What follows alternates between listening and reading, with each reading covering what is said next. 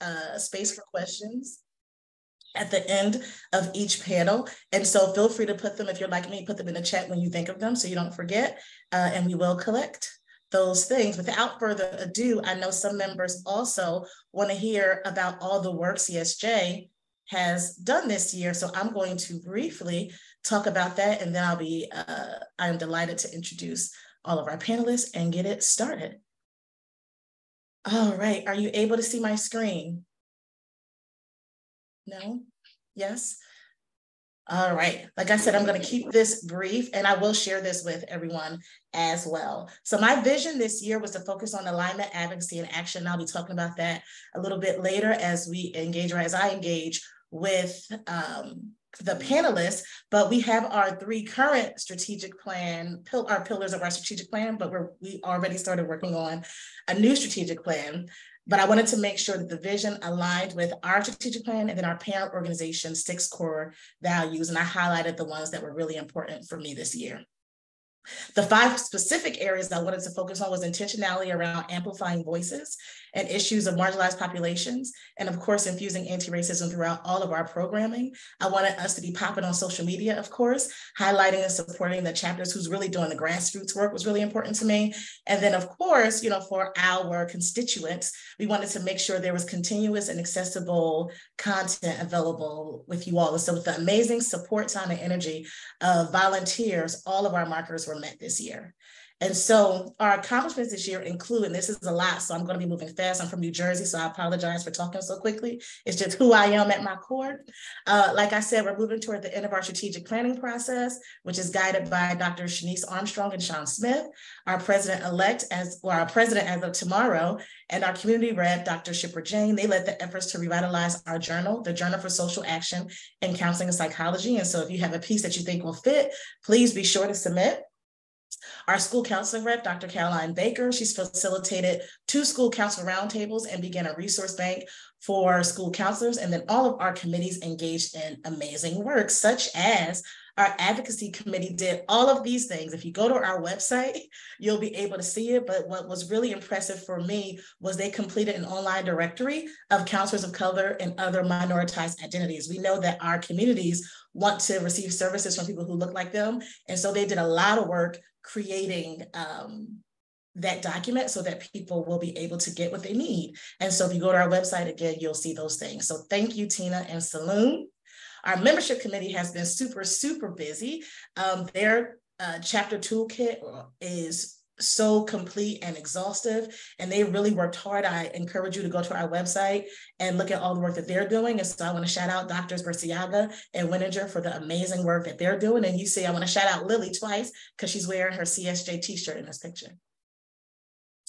Our mentorship committee has been super busy. This year i'm also a mentor. So I'm excited about that. And the only reason that number is 37 pairs is because for the last few years, they've been doing the mentorship match program and mentors and mentees are staying together. And so that's amazing. So I think within the past three or four years, and I see Dr. McGrath here, you can put it in the chat, over the last three or four years, I believe they paired something like almost 300 uh, mentor mentee matches. So they're doing amazing work as well.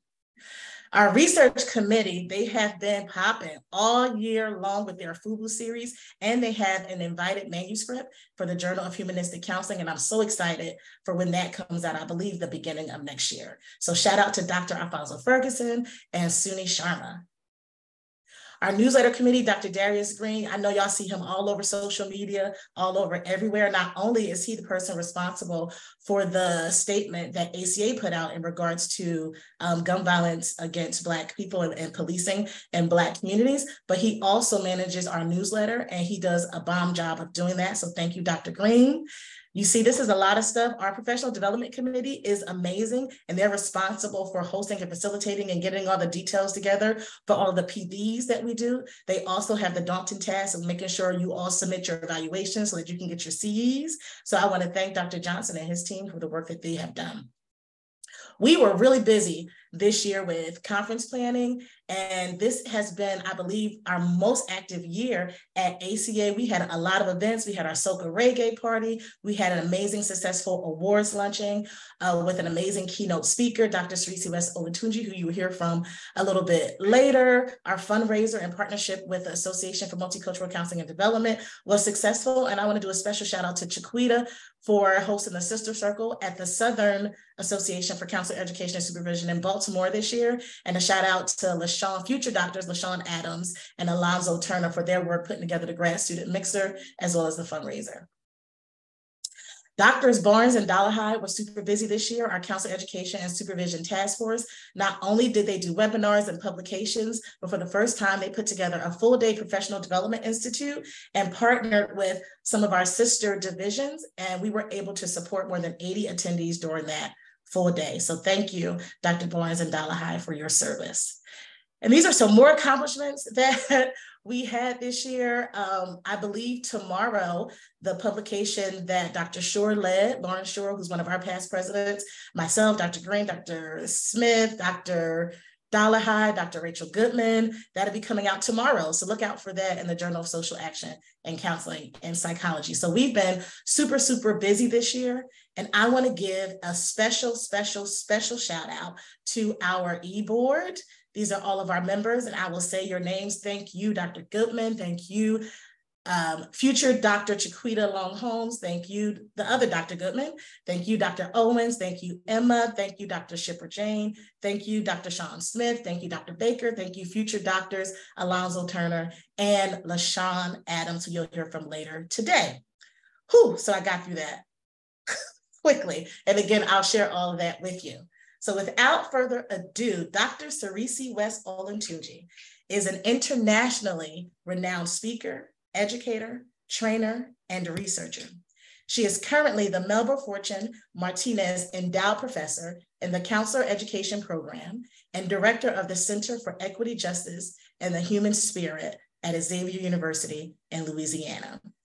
Uh, Dr. Charette is going to be dropping the full bios of all our presenters in the chat real soon. So feel free to download that. You want to read the, these full bios. They are absolutely amazing. Thank you, Dr. Cirecie West Olatunji, for being here. Thank you for inviting me to join you. Yes, I'm so excited. Dr. Amanda Baden is a transracial adoptee whose experiences, both personally and professionally, have led her to focus her research and clinical practice on adoption triad members, transracial international adoption issues, racial and cultural identity, and multicultural counseling competence. She's currently a professor in the counseling program and the doctoral program director of the PhD in counseling program at Montclair State University in Montclair, New Jersey. Thank you, Dr. Baden, for being here.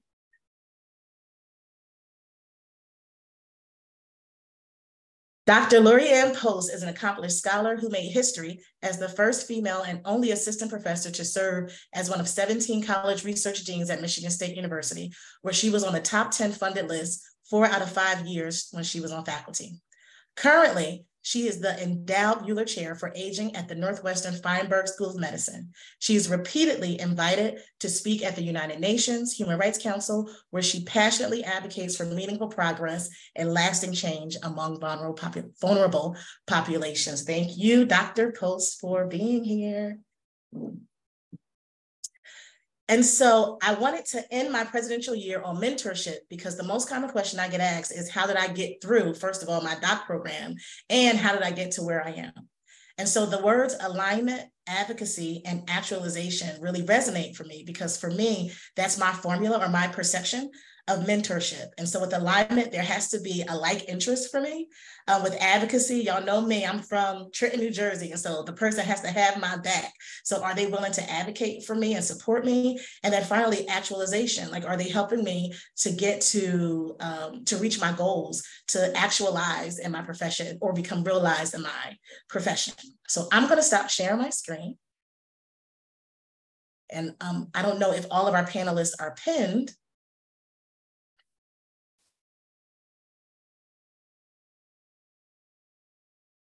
But the first question I'm going to ask is what does mentorship mean to you? And anyone can start, but I will call out names.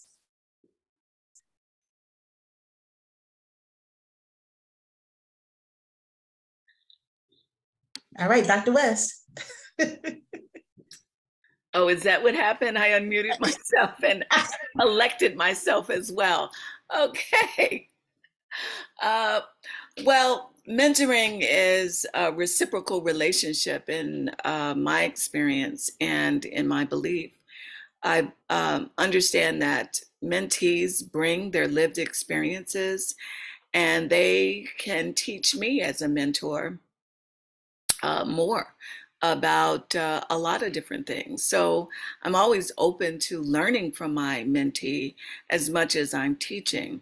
I also recognize that um, I think to be successful, one always needs to be both a mentee and a mentor. And so, uh, even at this point in my career, I am still a mentee. There are senior scholars who continue to educate me and push me to learn more, do more, um, and to challenge my way of thinking so that I can create new ideas, uh, new projects, and so on. So, I would say for me, the most salient feature of mentorship in my life has been that it's reciprocal, that um, I see that as a necessary uh, aspect of mentoring. Thank you. Dr. Post, did you want to add to that? Um, yeah, I no, I totally agree with what you say. So it's definitely um, a relationship that goes both ways. And um, you know, it, so I have, you know, I have to get more into like what I think about mentoring or why we become mentors or why it's helpful to be mentors too. But basically, all of my mentees are a two way relationship one where I learn from, but one where I also can advocate for and one I can support. And you know, ultimately my goal and the thing that I'm good at, whatever, is is making scientists. And so um, yeah, I totally agree with that. What you said. Hi. Uh... Oh no, you froze, Dr. Baden.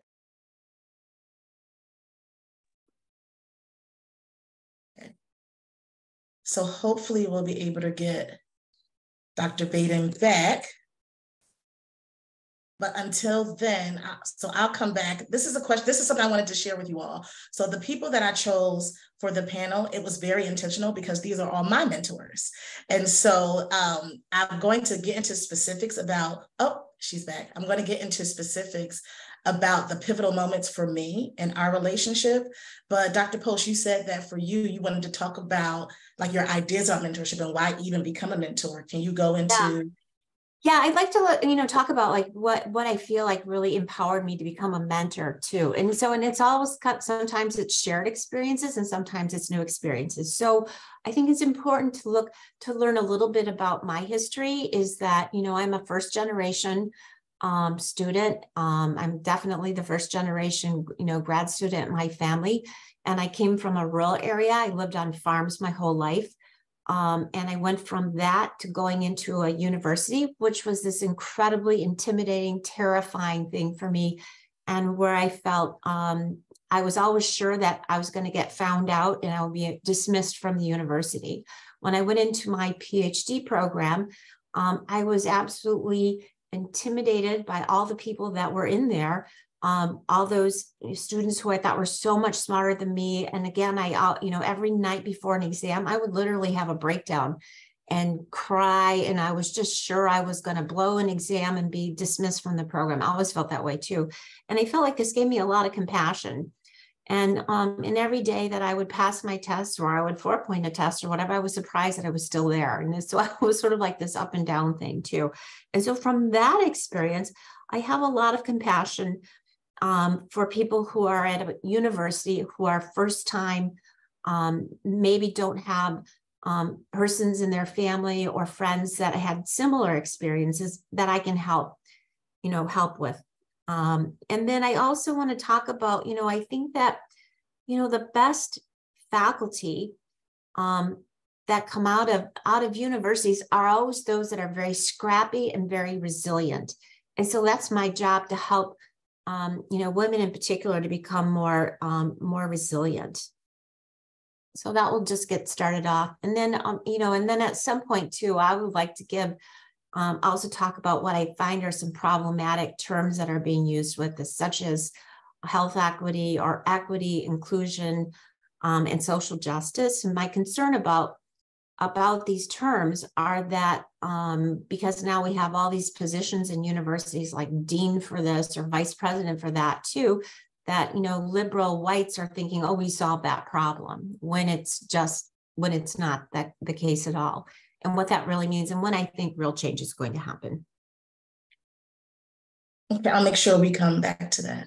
All right dr baden you're back. You're muted. Sorry about that. Just as i started to speak i got kicked off zoom so i apologize.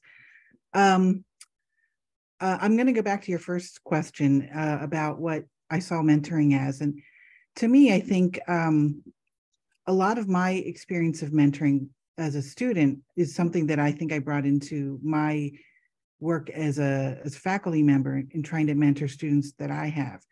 So both of my mentors in graduate school were both Black women who were who saw me as I was the only Asian student often in most places. And um, they really helped me find my voice. But one of the things that was that I also think is distinct is that I don't see mentoring as just about the academics. I think the academics um, is certainly, of course, why we're part of why we're there.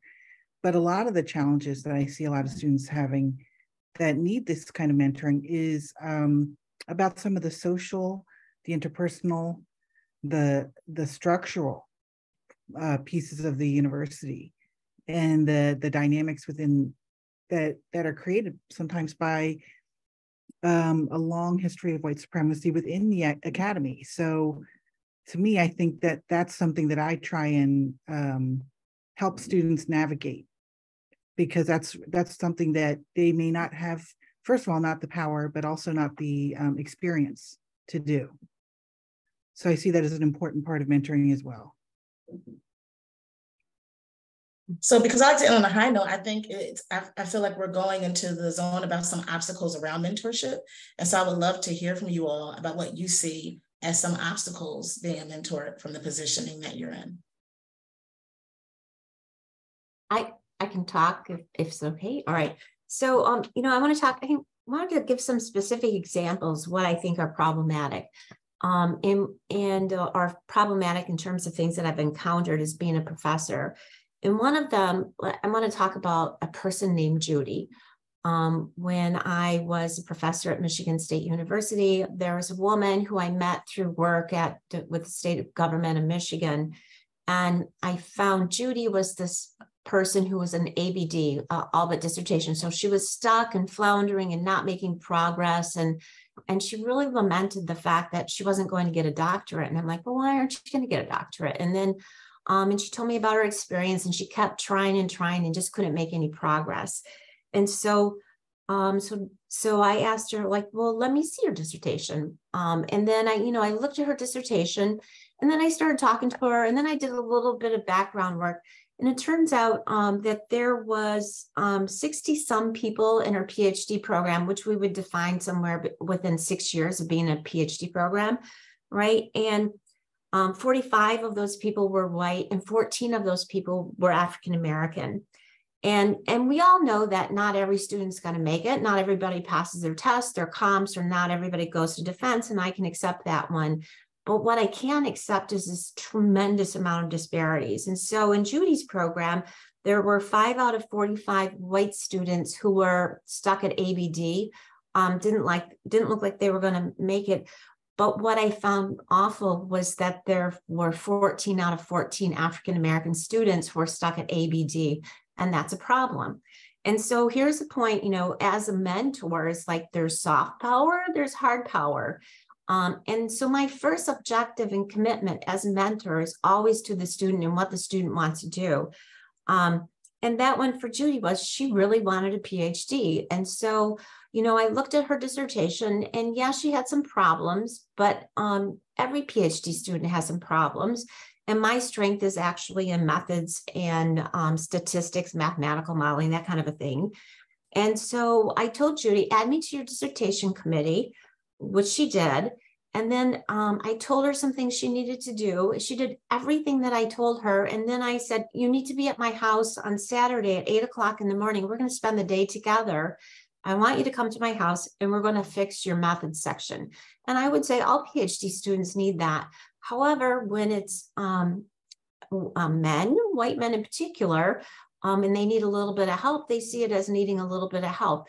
So, did Judy need anything more than anybody else? No, but somehow this is perceived differently what she needed versus other people. So, Judy, Judy came to my house and we went through her dissertation and we fixed some methods. I helped her with the programming of it, and I got her to be able to explain it, understand it. Um, she didn't have to be a statistician to do it. A lot of people have assistance with it. And then um, Judy was ready to go. She sends this to her advisor, and then her advisor tells her everything that's what's wrong. So I looked at those comments. I helped her with those comments too. And then I called her advisor and I'm like, hi, this is Lori Post. And I just wanted to let you know, thank you so much for those comments. I helped her with those too. She's ready to go to dissertation. What day should I reserve? Right. And so that's kind of soft power of pushing somebody through. And then after Judy defended her dissertation, then I went back to the chair of this department and I talked about probability of one out of 14 times one out of 14 times one out of 14. And what's the likelihood that um, only Black students can't get past the defense? And um, and I said, unless you have some empirical evidence that these are subpar students too, there's a problem and it's systemic here. And so, you know, there's soft power and there's hard power. Um, and and and I promise you that every single professor who had a student, um, white students and black students, nobody thinks they're racist. Nobody thinks that they have bias. But why did it play out like that? And so it's our job also as mentors to get involved and cause some trouble. And so, um, so that's why I have a dog. I don't need friends at work. Um, my dog likes me. And then the other thing is my belief is always is I have a memory of a goldfish which means they can only remember something for about eight seconds. Because if I sat around and worried about all these um, injustices in the world, then we wouldn't get very far. So forget it, you know, it's sort of is the thing is to move on, do what you can. But it's my job to, um, number one, the best thing I can do for anybody is help them get a PhD or help them get their MD, PhD, or whatever, you know, whatever it is that they want. But they have to design that career, not me.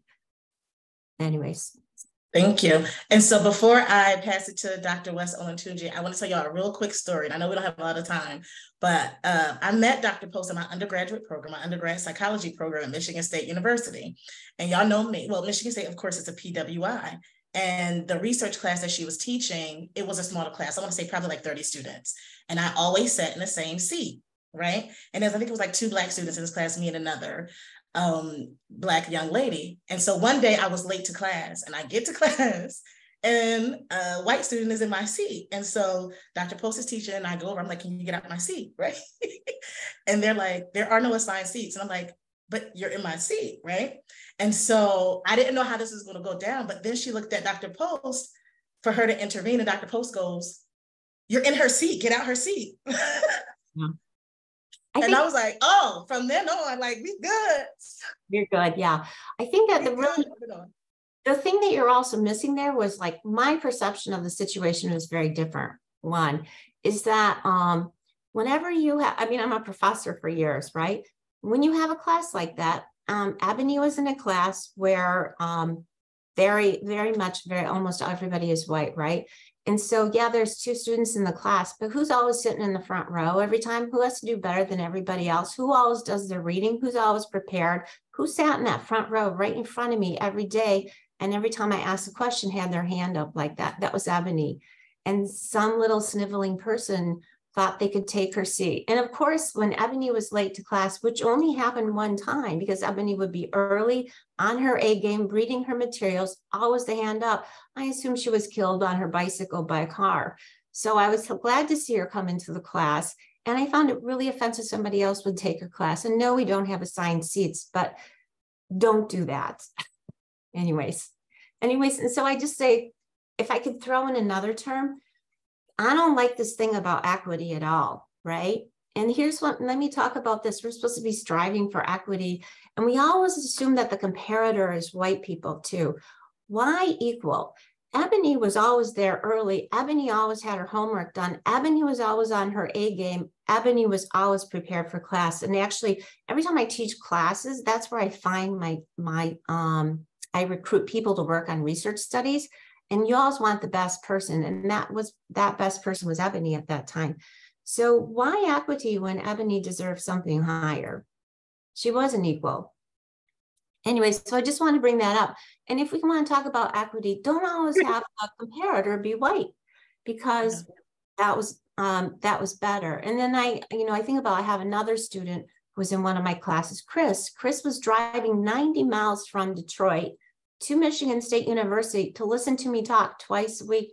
And he would drive it back every time. He was dog tired, but he, you know, but I think about what kind of dedication, commitment, discipline it took for him to make it to my class every day. And um, and, and that was amazing to me. And now, um, when I was at Yale University, I was having a hard time recruiting patients. And so I called up Chris because I knew he always came through, was dedicated, was excellent too. And it was like, Chris, can you come work for me here? And can you be here by Monday? And of course he was too.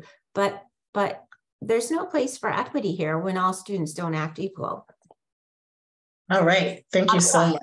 I'll be quiet. Dr. Dr. West, Olatunji, can you hear me? Okay. Yes. Uh, so you, you're asking the same question, or you want me to to provide commentary on? You can do both. well, I love it. Do both. yeah, yeah, yeah. So uh, yes, there within the halls of academia, uh, there it there exists a very toxic environment, and it disproportionately impacts people of color and other people who are non-traditional in some kind of way. Uh, and so it's important when we are in this role as mentor that we use whatever tools we have to try to, um, you know, minimize or, or eliminate these obstacles that are in the way of folks trying to get through. And this is not only for students going through, it's also for uh, our vulnerable faculty who are going through. Uh, when we take a look at the statistics and looking at uh, faculty of color, we look at Black faculty who are viewed as continual assistant professors, having difficulty getting tenure mm-hmm. uh, and moving on to associate professor. Uh, we have uh, Latino faculty uh, who come up against that same glass ceiling and decide, forget this, and leave the academy. So we're losing them as faculty. We take a look at women. Uh, and as you go up the ladder, there are fewer and fewer women. Uh, so that even if you look at counseling, very few women of color are full faculty. So um, and now the new phenomenon uh, is that uh, we have the clinical faculty positions. As I go around the country and uh, encounter the new faculty coming in, they often are telling me they are not on a tenure track uh, uh, journey, but are rather in the clinical faculty role. Uh, and certainly, yeah, that is a great opportunity. There are a lot of ways to work that. and I see emerging uh, scholars uh, like uh, Dr. White who worked that amazingly. I don't think they thought about somebody as amazing as you coming into that position because you make it, uh, you make, you definitely make it work for you, which is amazing. Um, but yeah, that is part of what's going on. Uh, and we have fewer and fewer tools to be able to, to support uh, uh, certainly faculty of color, graduate students of color, as they go through this process. Uh, we have the new DEI initiative, uh, and there needs to be a whole discussion about that as it relates to mentoring, as it relates to people in the of color in the academy. Uh, where you take something that had meat, in other words, uh, diversity efforts uh, 20, 30 years ago were um, uh, staffed primarily by lawyers. So it became a legal issue, uh, and you had meat. Today, DEI is mostly about training, and most of that training is directed at people of color, which is very interesting. Um, so it's it's so important when we are in these roles as mentors uh, that we we ask ourselves, why are we here? Why be at the table if we're not going to make some noise? If we are not going to speak out, uh, what's the point of having tenure? What's the point of being full? What's the point of being associate if we are not going to speak out uh, and be able to support people so that they can get through these programs, get tenure, um, and be able to do that? And um, it's important for us to bring people on uh, to whatever endeavors we're on, whether it's a research project, uh, where it's a funded intervention, uh, whatever it is, nominating people to be in positions of leadership. It's important that we do that. Um, and unfortunately, not enough folks are doing that. As I was listening to Dr. Post, I was like, wow, where was she when I was going through?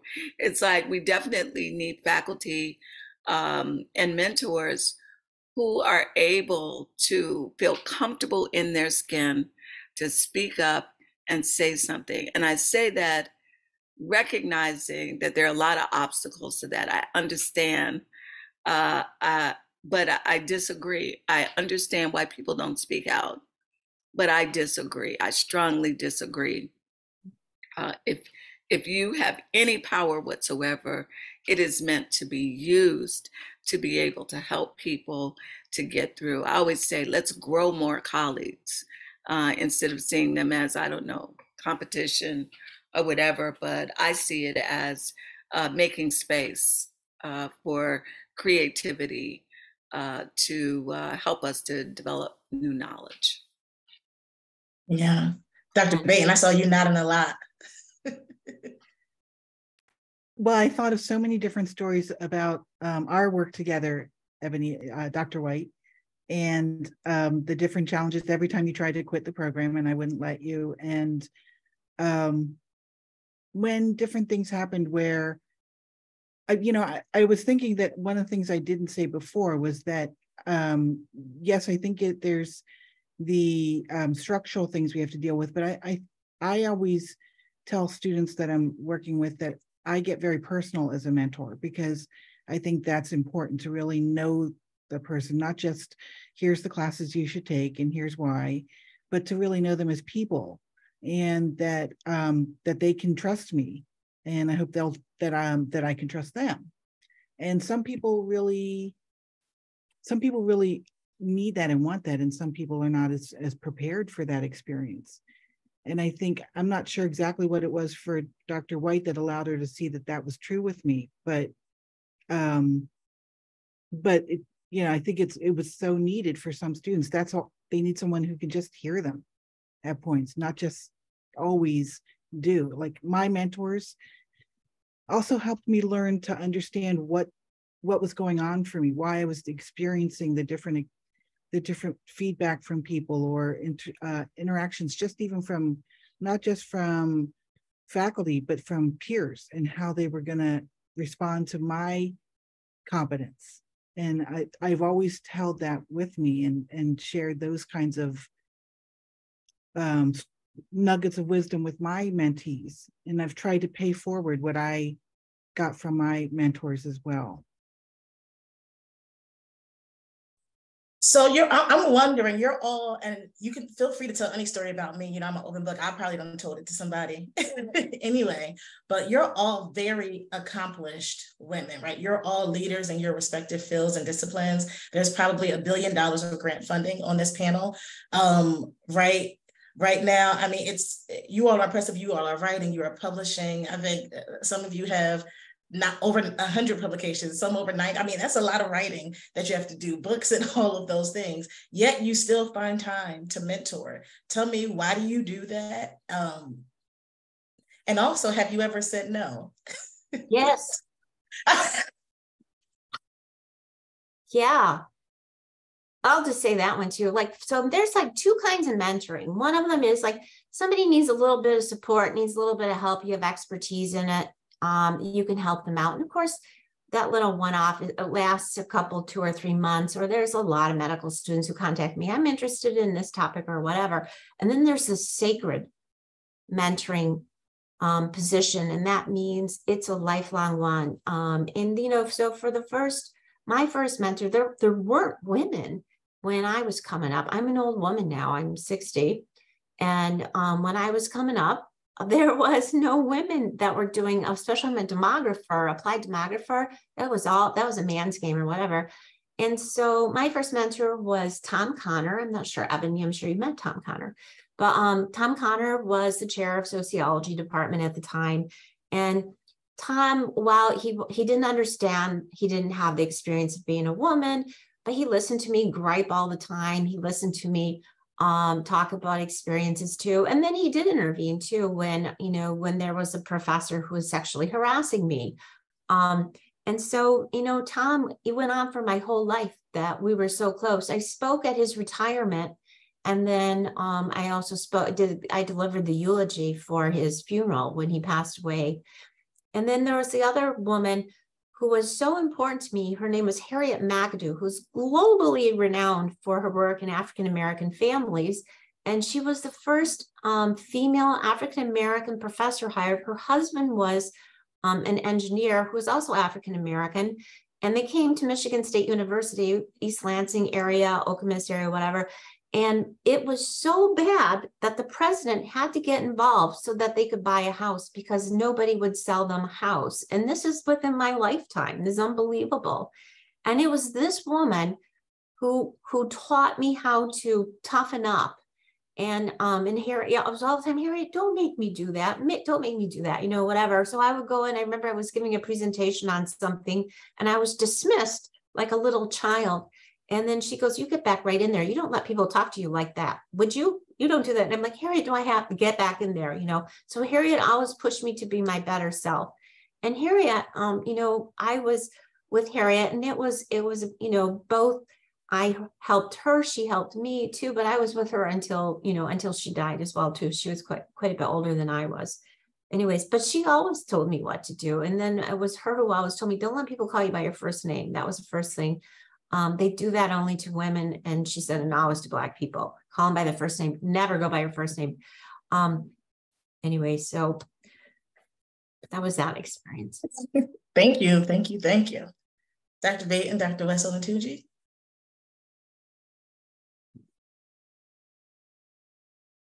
Go ahead, Dr. Baden. Can, I don't know if she can hear me. Oh. Yeah, I can hear you. Um, I, I, think that you know some of the feedback that um, you and I had talked about about you know because I always when I say no, you asked the question about if we've ever said no.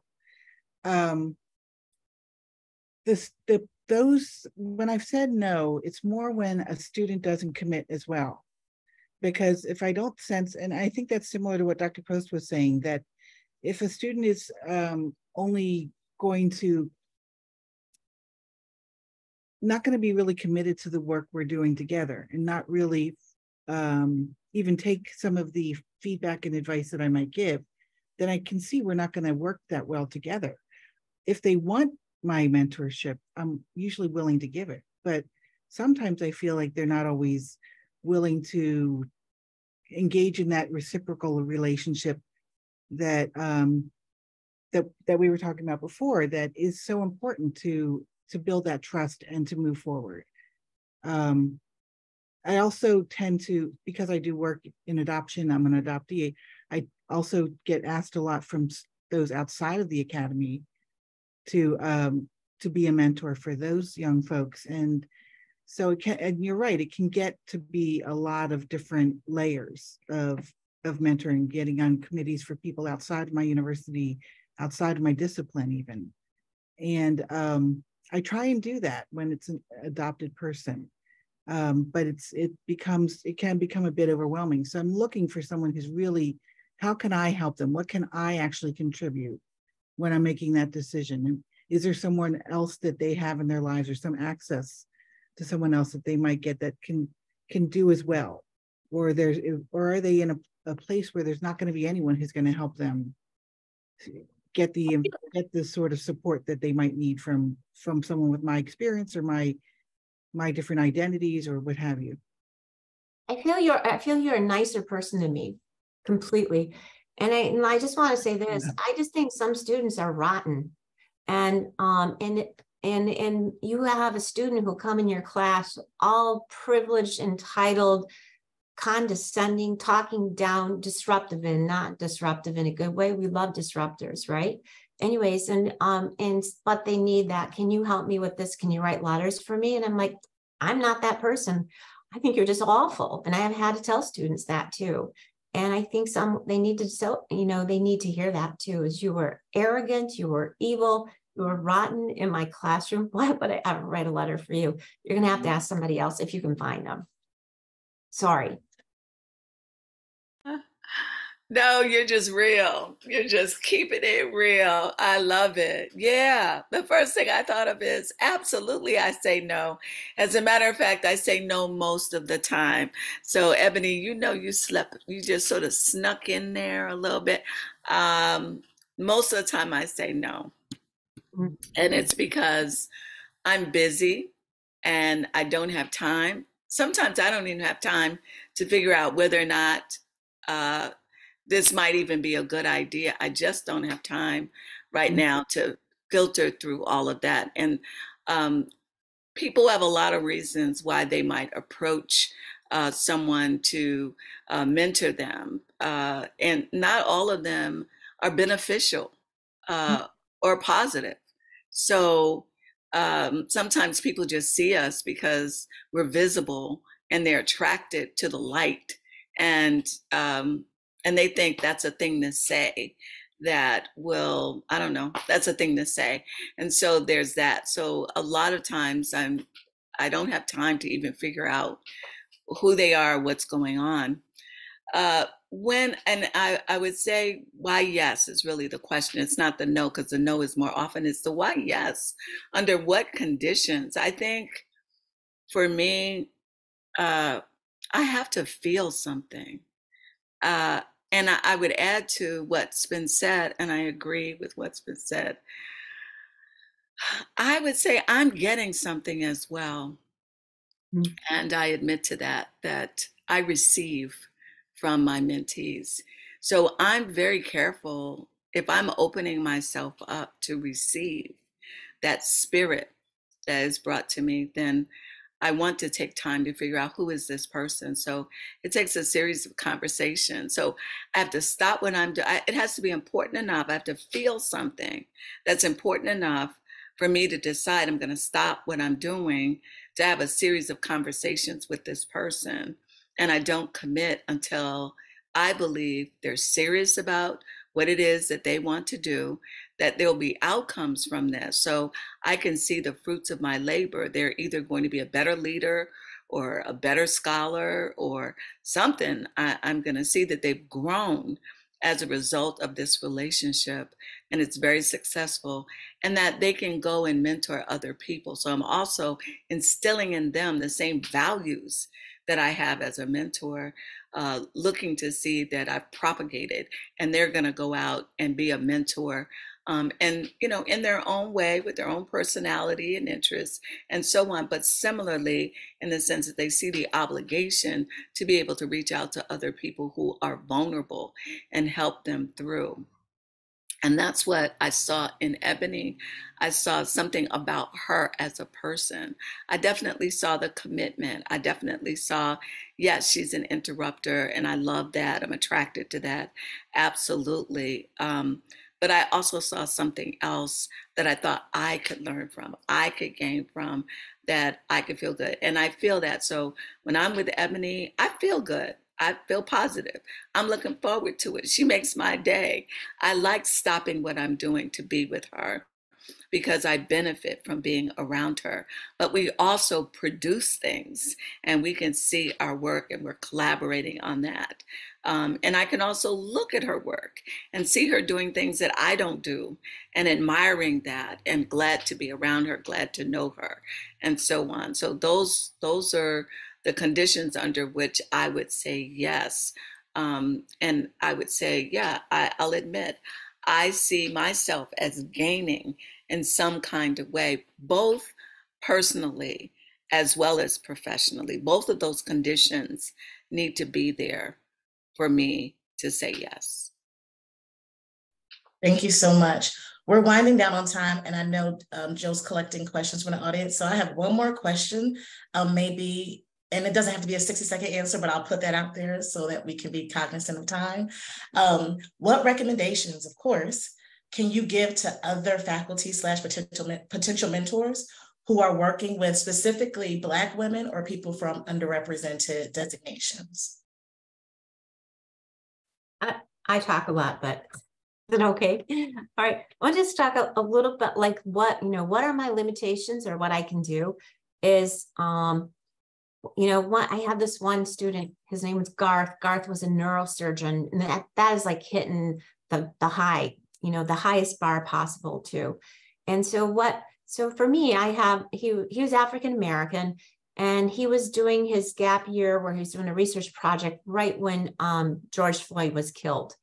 And so and he came to me with his you know his story about he you know he was getting ready to take exams and then he had that but he also felt he was letting down his community that he needed to be out protesting and marching whatever and he never felt so helpless you know as a mentor and so you know i can listen um, i can i can help him i could help him with the research project too um, but in the end, I think you know the role of mentor though is you have to have to let go. Students have to make their own choice, or we help them to try to come up with some kind of you know an accommodation in the terms of um, having let him have a gap year so he could um, do what he really felt that he needed to do, and, you know in terms of, of marching.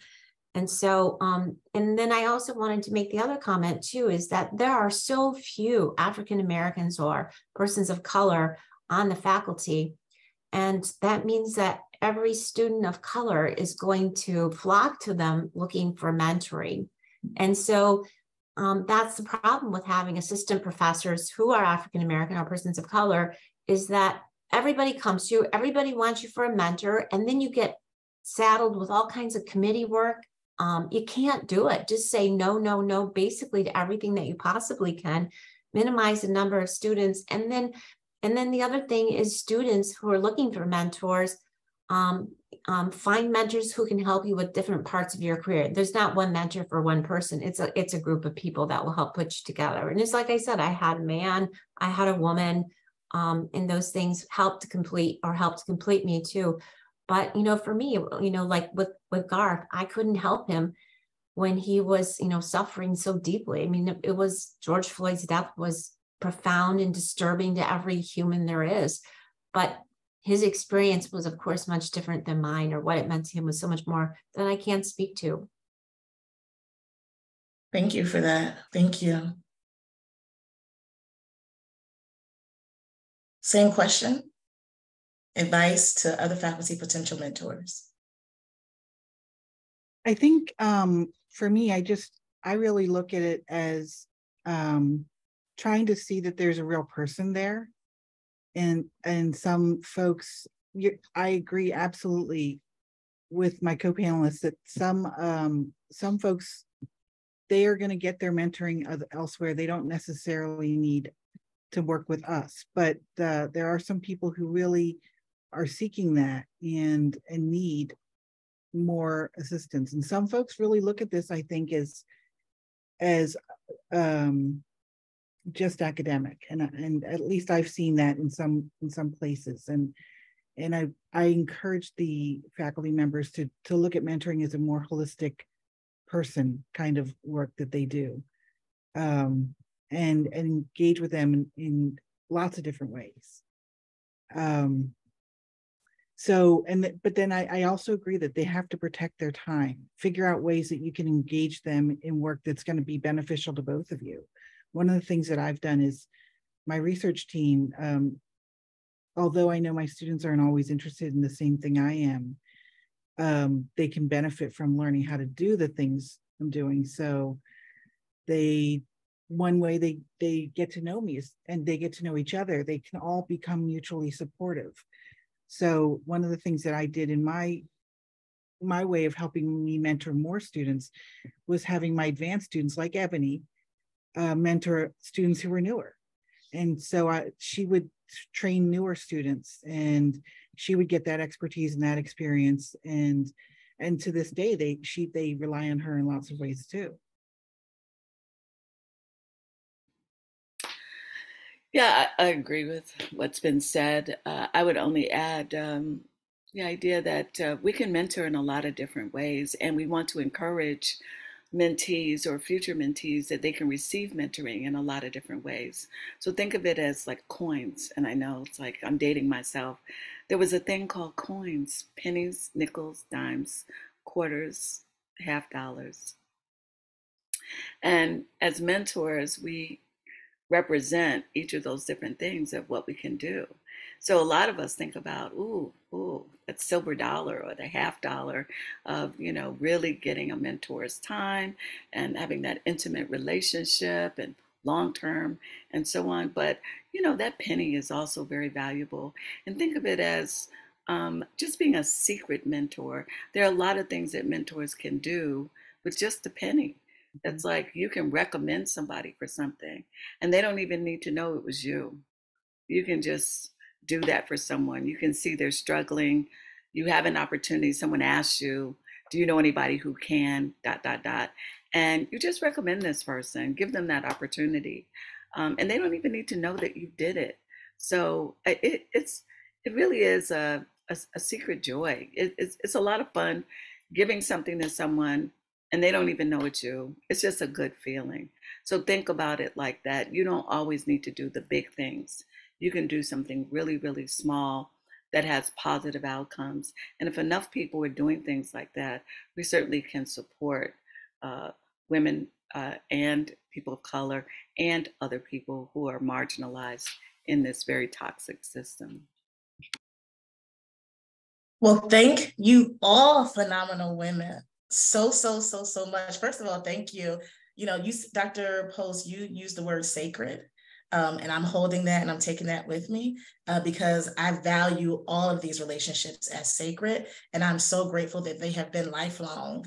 Um, some have been lifelong and some will continue to be lifelong, right? Um, and so I'm going to invite Joe, Dr. Joe Charette, to ask the questions from the chat and then we'll shift gears. All right. Um, so we've gotten a couple questions um, and, and just for time, uh, we just have uh, we have time for one person to answer each question. So I'm going to throw my first one to you, Dr. Baden, because you're first on my screen. Um, what are your thoughts on the uh, recent affirmative action ruling and what we can do uh, as counselors, educators, scholars uh, to deal with this new issue? Oh gosh, it's um, really disappointing. Really, um, I I don't know how things are going to change until we change that court, but um, what we can do is um, I, am still trying to figure that out myself in lots of ways, but I, I think that figuring out ways to support the um, families and, and figure out ways to help them manage to increase their profile so that people aren't continually asking the same questions that they keep asking this bias question always that that comes with this expectation that affirmative action was the explanation for all these students of color anyway to be successful which i think is offensive to begin with. So um, that suggestion that those students are there because of affirmative action is part of the problem to begin with. And um, so how we get how we get past this right now, I'm not really sure. Um, I I'm sure someone else has better answers. I was just kind of still kind of taking it in yesterday and um, trying to figure out how we manage this with the Supreme Court as it is, because so many things are being taken away from from folks. I wish I had a better answer. I'm sorry. Oh, thank you, Dr. Baden. I too am still in that space of just even trying to process that it's happening. Yeah, I think that's very real. I appreciate that. Um, Dr. West Olatunji. Um, so uh, someone shared, I mostly work with students and supervisees that hold minoritized identities, intersections. I will typically allow them to refer to me uh, in a less formal manner. However, there's a part of me that feels entitled to my doctor title. I struggle navigating this and wondered what your perspectives are. Yeah, I, am of the same opinion as the late Dr. Harriet McAdoo. Uh, and the reason is because it's real. It's real. That that's the experience that we have. We are diminished even, you know, with that microaggression of just referring to us with without the doctorate and we work very hard for it. Uh, and so people need to understand that. And oftentimes when we're with our colleagues who haven't had that experience they don't understand that context. And so they often are telling students uh, or other people oh just call me you know whatever by their first name. Uh, because for them that's a way for them to uh, be relational with their colleagues and, and with their students, but they need to understand that it's a very different experience for others. Uh, and so, whether they um, explain that to students and uh, emphasize that, reinforce that for us as allies, that needs to happen. Uh, but not to just ignore it as though it's not existing and that it doesn't cause harm for other people. So it's important to be able to do that. It's also a way for us to coalesce, to come together, um, to have a sense of community uh, in that. So often, uh, certainly women of color are isolated in the academy. And often, uh, when something happens or when we speak out to be able to talk about these microaggressions, we don't have the support of our colleagues who say, you know, um, this is accurate, this is true, this is what needs to happen, and so on. So, for example, uh, in the, the the story that we were told about Ebony being a student in the classroom and the ways in which uh, you know that was handled, that's an example, right, of that. So we need colleagues who understand that, who understand the dynamics, and are willing to speak up and say something uh, and to acknowledge it because there's a lot of gaslighting going on when people bring up these issues. Uh, typically, our colleagues will say, That's not true, or that's not happening for me, that's not a reality, and so on. So sometimes just acknowledging that you see it, that it did happen, that this is going on, um, and even better if something is done about it. So uh, we just need more people who are able to speak up and acknowledge that there are a lot of microaggressions that go on uh, everywhere, but uh, a lot of times people don't know in the academy, and especially, mm, especially in counseling. So that is not discussed a lot, and I think it hurts more when we experience it in counseling because we think, oh, this is humanistic. Oh, we're the helping professions. Um, and so typically when people experience it the first time, they are devastated because they can't believe it's happening in, the human services or in a helping profession. But no, we are as vicious uh, in counseling as we as it is as it exists in in other disciplines in the academy. Thank you for that, Dr. West Olatunji. Uh, Dr. Post, what Oh, wrong question. Um, folks would love advice on how to discern and find the right mentor or elder. Dr. White has found three, and they're just looking for one right now. Well, that's a complicated question. I think that um, it depends on what you're looking for, like what your experiences is. So, like, I would, for me to answer that question, I would just need to have a talk about um, you know what it is that what is it that you want to be? And i just want to really reinforce this especially in academia. You are the architect of your life and you get to design your own career. And i want to know what does that look like for you? Where do you want to go? Because i can always help think of a way to get there but you're the one who has to pick out what you want to do. And so to find the right mentor we have to know what it is that you want to do. So if you want to fill me in a little bit then i would have you know, see what kind of support you need because maybe you need support like um, something Ebony didn't say about me, which is true, which is, you know, I was a grad student and um, and I had a whole bunch of children. and it was strongly discouraged, except for Harriet McAdoo also had four.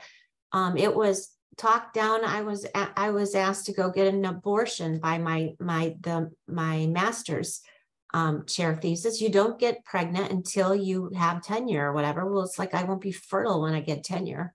Anyway, so um, so it just depends like what kind of mentoring as a, a you know how you identify yourself, how you define yourself. That's what really matters to me. And then I can help you. Thank you. In the um, the document, I'm sorry, I'm cracking up. In the document that Dr. Joe shared with you all, um, our panelists were kind enough to also include their email address.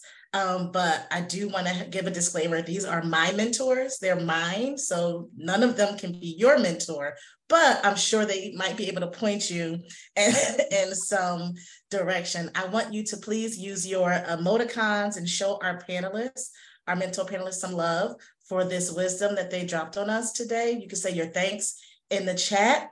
And as we, or as Joe unspotlights them, um, we know this is a two hour webinar, so we're going to give you two minutes. Wait, hold up, Brenda Esau Howard. We're going to give you two minutes to take a bio break. Um, and while we do that, I want to bring up my first mentor, who is my mother. And so if you can spotlight Brenda Esau Howard. Brenda, Brenda, hi.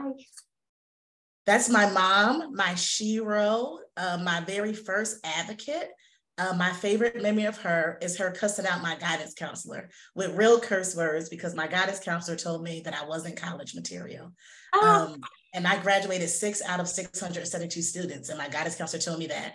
And my mom, who was an unpartnered mother, took off of work the next day when I told her that and came to my school with me and she showed me what advocacy really was. So I just want to take this time to shout out my mom as well for being an amazing mentor. Use real curse words. Exceptional, but not an exception. Absolutely. All right. So we will be back at 108 and um, we will have our mentee panelists. Thank you again, Drs. Post, Dr. West Olatunji, and Dr. Baden, especially Dr. Baden, because I know you're away on vacation. So thank you so much. Thank you. And I'm amazed by you. Thank you. It was great to be here. And on your last day, Madam President. My last day. Thank you. Thank you. Thank you. Thank you. Well deserved.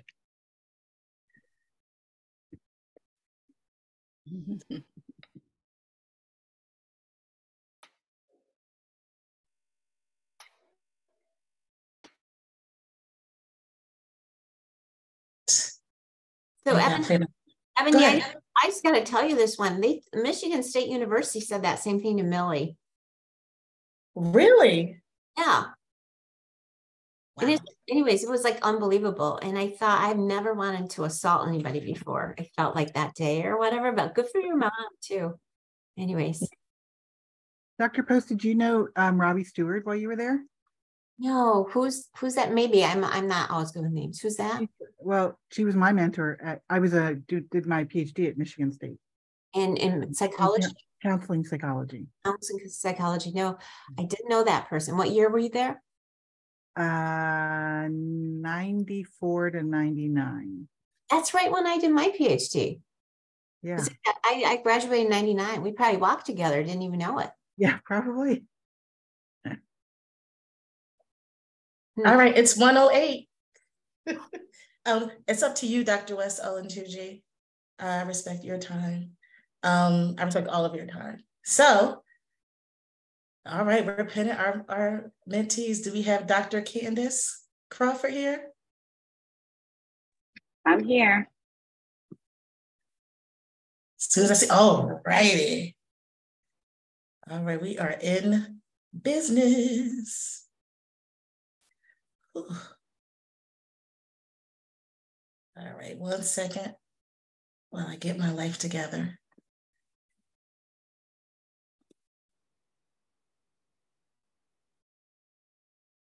All right, are you able to see my screen?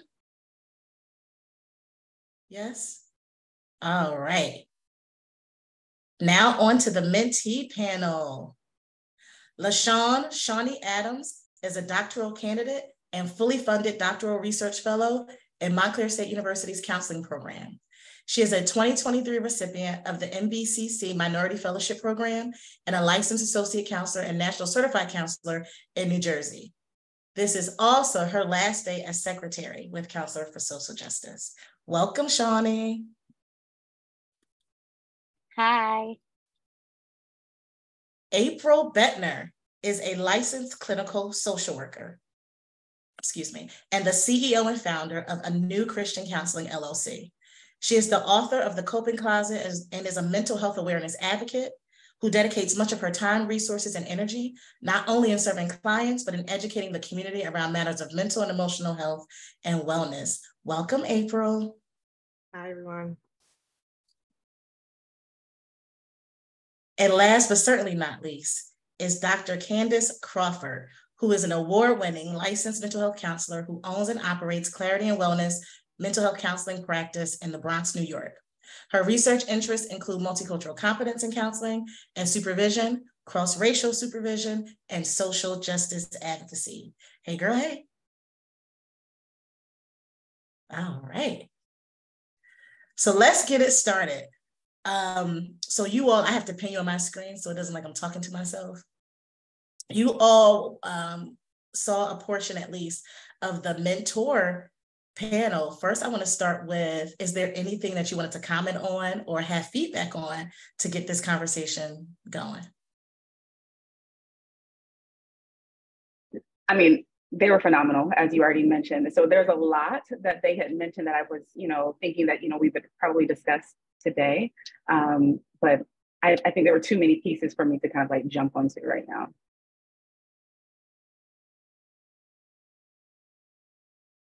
Okay.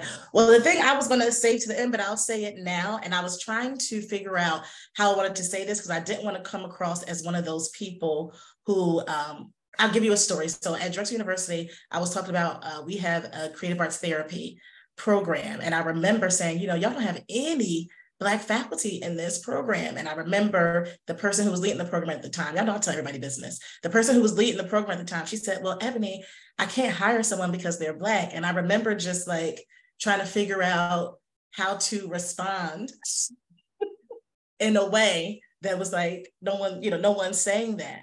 Um, and so I want, I don't want to come across in that way. Dr. Post talked about how there's not enough uh, all of them did, but she was talking about how all the students of color and all the underrepresented students, they flock to the one or two faculty of color and they are overwhelmed. And the reason, one of the reasons, one of the reasons I wanted to show you all who my mentors were is because I only have one Black female mentor. And I am where I am, not just because I've had mentorship from a Black woman, but because I've had good mentorship.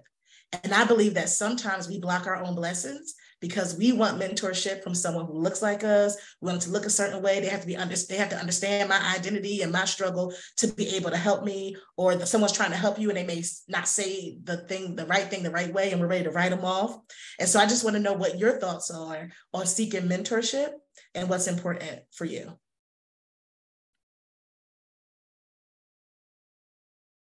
I can talk. Um, mentorship for me is like catching the vibe. Um, for me, like I have to have a deep feeling and spiritual, like personal connection with you. And if I don't vibe with you, you can't be my mentor and I can't work with you. And so I think in short, for me, it's like there are some people I would love to have like all black female mentors and like we could just be like gang gang for the rest of our lives. Like, but that's really unrealistic in this profession. And I also found that not all black people are the people who have shown or advocated for me. And so I think what I've learned in this position in my life is go to the people who showing who are showing me showing me who they are and who got my back. Um, something you said, Dr. White, that sits with me is like, I need people in my life who I know that, what are you gonna, can I trust you when I'm not there? what are you going to say about me when I'm not there? Are you just going to advocate? I know you got my back when we're in front of people, but when I'm not there, are you just as, are you going just as hard for me? And I think I, for a mentor, I have to have that feeling that you're going to go just as hard for me when I'm not there, even when I am there too. Thank you. April, I see you unmuted. Yes. Um, that's a that's a very interesting question that you presented. I have had uh, mentors on a relatively broad um, spectrum, and I have benefited from those who look like me as well as those who haven't. Right. Um, I also haven't benefited in the same regard. So um, I can remember a couple of examples. Um, I have had two Caucasian women in my past serve as mentors for me. Um, one I really resonated with, and I felt like she saw me. Uh, the other, I had a different type of relationship with, and, and subsequently that relationship was terminated. Um, it's not something that I regret uh, because it wasn't just about race or ethnicity or what have you. It was about personhood, you know. So when it comes to um, who to seek out as a mentee, uh, for me, it was important to both see and be seen, to hear and be heard. And similar to what was just said, to feel like we connect. You know, there's a, a deeper level of connection of personhood that can transcend demographics. That's something I think if we can lean into that, we won't find ourselves um, encountering those barriers, like you said, Dr. White, where you end up excluding people and writing them off the list and feeling like, well, we won't connect and they won't be of value. The relationship won't be valuable because they don't fit my checklist. I think we should look a little deeper than that. And for me, that has worked to my advantage. A thousand percent, I agree with everything that's already been said. I think we've heard, the, you know, the phrase "not all skin folk or kinfolk." Um, so we kind of know that, you know, I, while my Blackness and my Black racial identity is one of my most salient identities, it's not the only salient identity, right? And so I thought, I think it's important for us to make sure that we understand who we are as individuals and how we want to show up authentically, right? And so it's important for us to make sure that, you know, we're in spaces that we can be supported and we can grow. Um, you know, one of my mentors here, you know, Dr. Harriet Glosoff, like, you know, has definitely seen my growth as a as an individual. You know, she's someone who I can trust, someone who I can depend on. Um, and so I think it's important for us to recognize that mentors look different, right? And so we can have someone who is going to, you know, share our similar identities or someone who doesn't, but they have different perspectives that will allow us to, to grow. And so someone asked in the in, in the chat in the first part of this webinar, they asked, they said, you know, I'm looking for one mentor. You got three. How do I find a mentor? How did y'all find y'all mentors? And we'll go backwards. I'll start with Candace and then come backwards. So I, I think for me, it's more, you know, I, I really lean into that informal mentorship, right? Something that's not truly structured. So you know, I mentioned Dr. Glosoff earlier, where we work together in our program. But you know, I've grad, I've since graduated, and um, three years out of you know my PhD program, we still do work together. We still communicate. She's someone I can, you know, feel like I can connect with. But then also, I just think that again, how do you want to to grow, and then finding people who can meet that. And I think that was something that um, the, the previous panelists were talking about that all mentors are not going to meet all of your expectations or needs and making sure that you are, you know, meeting with people who are going to be able to give you a penny or a nickel or a quarter, as Dr. West Olatunji was talking about. So um, sometimes you might have people who might not necessarily be your formal mentor, but someone that you can definitely, you know, rely on and, and, and talk to often. Yes, I, I, that resonates with me absolutely as well. I too have had informal mentorship and have gained a lot of wisdom from those relationships as well as those that were structured. Um, some that I sought out, like formal coaching with a dollar amount attached to it, um, where I made an investment in, in that. Um, and then others just on the strength of relationship, colleagues, leaning into my colleagues, finding out you know who their mentor mentors are and whether or not they want to share some people are willing to share that space and then i have benefited as well from group cohorts as well and colleagues although there is you know this um, benefit of exchange from those who are beyond where we are, there's also a mutual exchange as well among our peers and our colleagues. And I have learned so much from those who are walking this journey with me right where I am as well. Before you answer, Shawnee, I just want to say, um, April, I want to come back to what you talked about peer mentorship. So don't mm-hmm. let me forget. So okay. go ahead, Shawnee. Um, I think all my mentors happened because I shot my shot at them and it just landed. So um, I'm one of those people that believe you miss 100% of the shots you don't take. And so, like, I think the worst thing that someone can tell me is not no. And so, um, if you tell me no, it just wasn't meant to be.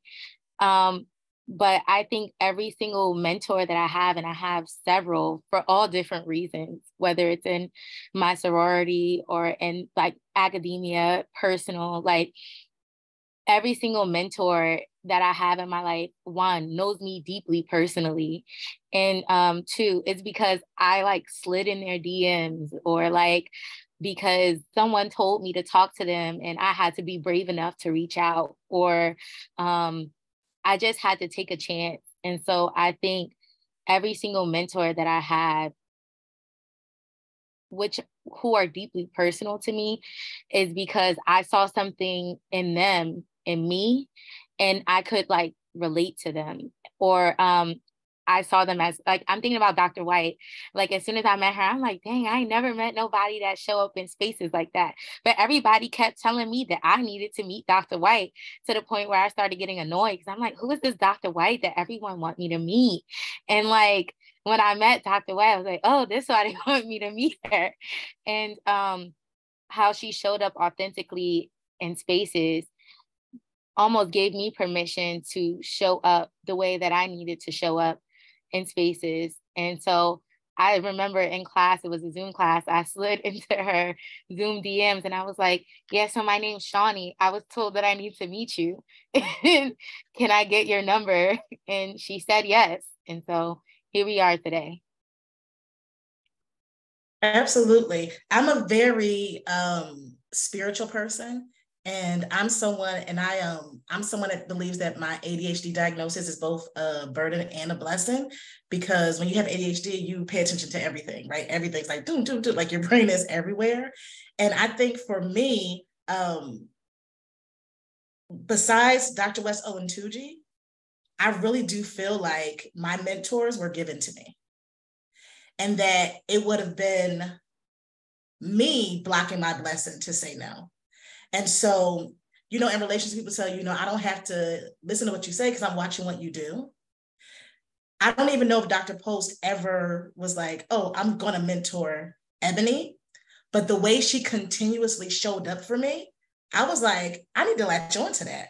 Right. And so anything she asked me to do, she was like, um, I want you to be on my research team. Give me your resume. And I le- legit gave her a blank sheet of paper and she laughed at me and was like, okay, fill out this paperwork. You start Monday and she was my uh, my statistics teacher. And i literally said to her face i have no research experience. I almost got a perfect score in her class. And she was like what do you think this class was? What do you mean you have no research experience? Because i think not i think you know we oftentimes as women as black women we are fed this narrative that we aren't good at, in the sciences or we don't do research or we so it wasn't even in my purview to consider being a part of any type of research project. And she was the first person that was like oh you know you're going to be on my research team and I was like, this is gonna be hard. She's like, oh no, it's it's nothing. And she was also the first person that told me I was gonna get a PhD. And I told her, I lied to that lady face. I said, ugh, I hate school. I'm not doing this anymore. Lied straight to her face. But this lady who is a white woman, she showed up for me stronger than anybody else on that campus. Showed up for me. And had I been one of those people like, no, I can't receive from her, I would have missed out on so many opportunities and a lifelong friendship, right? Her family is now my my family, right? I would have missed out on so much. And so I think it's also important for us to not have tunnel vision, particularly as Black women who are navigating academia, where we're so set on, you know, achieving one, two, three, four, and I need to find this person, that we're not looking out for the people who are trying to sow into us and latching on and latching on to that. And so, how do you show up as a mentee, and what are your expectations in a mentorship relationship?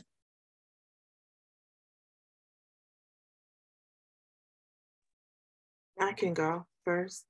Um, I try to show up both as a learner and a teacher in those spaces, but learner first, you know? So um, I try to show up as one prepared to receive and gain information, right? But I've found it equally important to show up prepared to give, to not just be a taker, you know, um, to create space as well for my mentor, right? Um, and then in order to do that, I have to be self aware as to what I'm bringing to the table, which is also important, right? Um, so I try to show up in that regard. Um, and it, it certainly has been, it's created a mutual exchange and a relationship that I feel like has caused longevity. It's more difficult for um, the mentor, I want to say, when they're in a space where you're drained and you, you people will continue to pull, continue to pull. So as the mentee, I realized that, I recognize that. And then being in a helping profession, we recognize that. So I also want to pour in whatever way that I can. And I feel like that certainly has been um, important to me in my journey. yeah, I, I, totally agree with everything that April stated. But I definitely believe in this lifespan developmental model, especially as like one of my supervision orientation models. Um, and so thinking about how, you know, even though I might not have as much knowledge or as much, as much expertise, I have something. I have something that I'm going to give. So making sure that I'm not just, cow, you know, being cow- a coward and kind of like, you know, not sharing my information, but definitely being able to receive, but being able to make sure that someone else is being able to take away from what I do know, right? Because I do have this knowledge that, you know, um, others can benefit from and it definitely um, looks different. Again, we, we were, we've been talking a lot about academic mentorship here, but then thinking about other relationships that I've had with other mentors, how I'm able to answer their phone calls, you know, when they reach out to me like, Candace, how do you do this? Or what does this look like? And how are you able to, um, you know, make this change and being able to say, oh, I know this answer and be able to give them that too was exciting. It's interesting. I don't know if this is good or bad, but in my mentorship relationship, like it's like family. Like if they give me a call, nine times out of 10, I'm stopping everything to make sure, like, what do you need? Um, you need me here. But I think it's the same way around with my mentors toward me. So it's very, it's a very reciprocal relationship where like when my mentors need something, I'm there. If I need something, they're there. I can call my mentors and and they'll answer.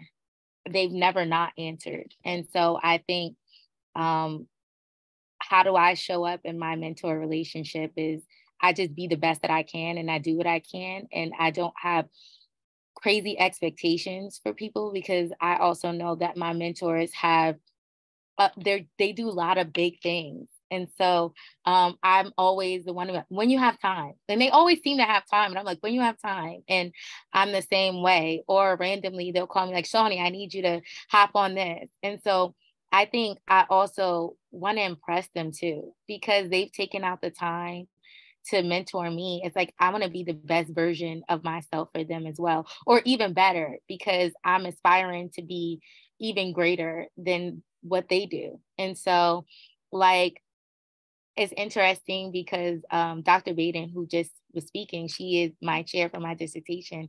And I always like talk to her like about how like, you know, you vibe with people that work hard. And like um, she always says, like, yeah. And, I'm like, I want to be that hard worker for my mentors. I want them to get the best bang from their buck. Just like I'm expecting them to give me the best bang from my buck. Absolutely. You said something I think is so important. I think that, and I'm not trying to say be too sensitive. I think that, yes, sometimes our mentors can let us down, but also I think sometimes we get let down by stuff that's not even really a letdown. I think we don't respect that people are busy and people have lives and have things to do. And if someone doesn't respond to your email in 24 hours, it doesn't mean that they're pushing you off or pushing you to the side, that other things are going on, right? But we'll go and complain like this person ain't got no time for me, they're not there supporting me, where this person may have, uh, you know, time for you, but also they're doing other things as well and trying to manage it all. And so that leads me to how do you handle when there may be potential conflicts in that relationship or where things are said that you don't like or done that you don't like, or if they are giving you constructive criticism as well. How do those conversations go? I can start. Um, I'm a straight shooter and I'm also a cancer. So I am very sensitive, but I'm also very um I like clarity. And so like if I'm feeling like something or some type of way, I'm very like, hey, like I want to check in. Like this made me feel some type of way. I don't know if I'm receiving it the way you meant it, but I, I want to tell you how I'm receiving it. And usually like we'll have a conversation. Like I, I'm not one of those people that I can't sit in my bad feelings, my negative feelings for a long time. And so I need to get it out. And um nine times out of 10, if I, I just say it, they're like, oh no, I didn't mean it like that. Or if they did, they're like, no, Shawnee, like, um, I'll never forget Dr. White was like, Shawnee, I respect like how you feel, but you need to practice diplomacy. And I'm like, diplomacy, rah, right? Like monster. like, and she's like, but then when I sat in it, I'm like, I look to my mentors, like they're not going to tell me something that's not going to be for my own well-being or my own growth as an academic, as a person, a human being. And so I, I don't take a lot of things personally, but when I do, I say it to them. And then I think my mentors know that I don't take a lot of things personally. So if I am taking something personally, then some there must be something happening, or there must be a trigger, or there must be something we could go deeper. And I like to be around people who have that type of empathy, um, to care that I am a human being first, a a black woman, so put some respect on my name, and that I've already been through so much stuff in this lifetime I don't need to go through any more if we can prevent it. And so I have been grateful to be surrounded by people who care enough about me or who know me so deeply. Even if i don't even if i won't say i'm struggling they know i'm struggling. Um even thinking through my dissertation process and my chair was like i was struggling in the meeting. I was having like a ptsd flashback. And she stopped the whole meeting and was like whoa first and foremost, let's like revisit the guidelines of like why we're here because I want to make sure this this space is safe for Shawnee. I didn't know to ask for that. So I think it's also important to have like, and I have Dr. White in my DMs, like Shawnee, you need to breathe. But if I didn't have those that kind of support, um, I didn't know I needed that kind of support until it was given to me. So you also need to be around people who are able to know who you are and what you need, even when you don't ask for it.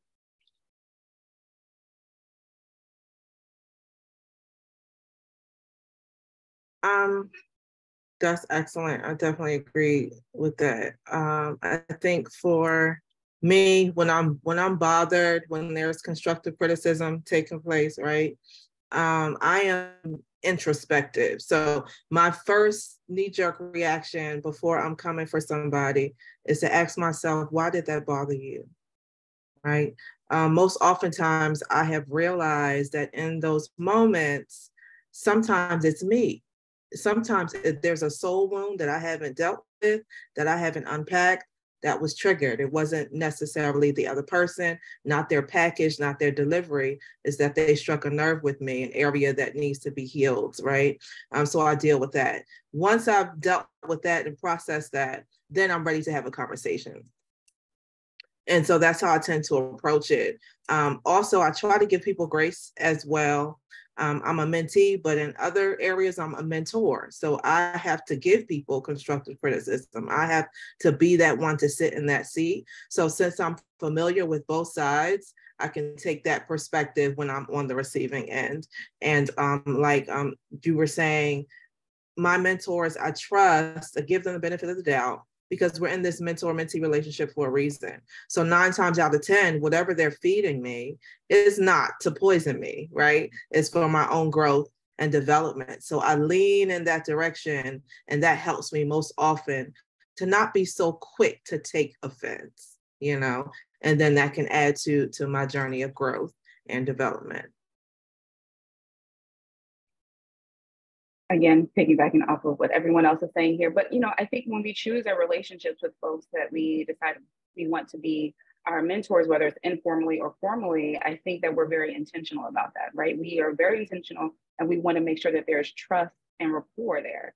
And so similar to if, if you are deciding to um, makes make a friend or you know you are getting upset with your sister or something like that you have these relationships that you know that even if there is conflict or discord or something that comes up you know that there's you know some way that it can be repaired or you're hoping that it can be repaired right? And so i liken a lot of relationships to you know whether i'm a counselor or a supervisor or whatever the case may be like i encourage my clients or my supervisees to have those difficult conversations. So you know i'm going to hope and expect that my mentors will also encourage me you know to have those difficult conversations or if something is to arise that i can talk about with them so if i trust that they are giving me this knowledge to have these conversations with other people i'm going to trust that i can also have these conversations you know with them as well so I think it's about the intentionality. So if I didn't feel comfortable, or if I'm thinking that it's just going to be a smooth sailing type of relationship the entire time, then maybe I need to reevaluate what this um, relationship truly means.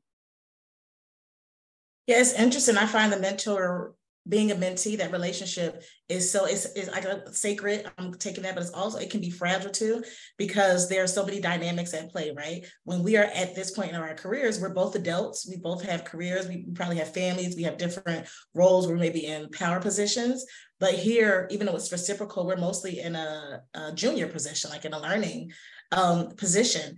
And so you know, to Shawnee's point, I feel the same way. Oftentimes, I want to, I love being impressive, right? And I want to show up in an impressive way. And nothing hurts my feelings more than when I feel like I did that and my mentor is like, okay, so let's talk through this or yes you did that wrong right and so like getting that feedback could be like ooh you know how can i re- how can i receive that um, in order to you know actualize like in order to get get better right? Because we're never too old to get correction. We're never too old to to learn to get tweaking to get that that feedback. And i do think that sometimes you know i'm a counselor educator. Sometimes even students i'm learning particularly adult students that's why i prefer undergrads like masters and doc students struggle to accept constructive criticism. And so I'm wondering what advice you have for people um, when those things arise.